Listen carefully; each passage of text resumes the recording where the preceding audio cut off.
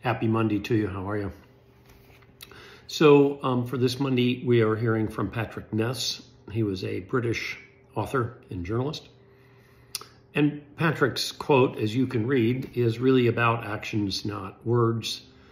And it's about what you do, not just what you think. So, you do not write your life with words, you write it with actions. What you think is not important, it is only important what you do. So, really, what um, Mr. Ness is talking about here is um, what are you doing? Not what are you saying? What are you thinking?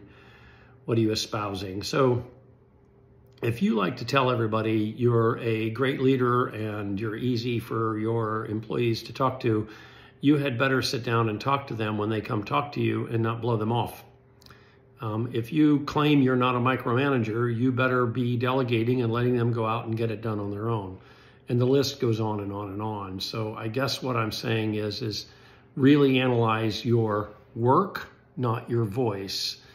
Um, clearly, what you say and how you say it is important, but um, I would also tell you, as Ness points out, that the um, actions speak louder than words, which we all know. Have a great week.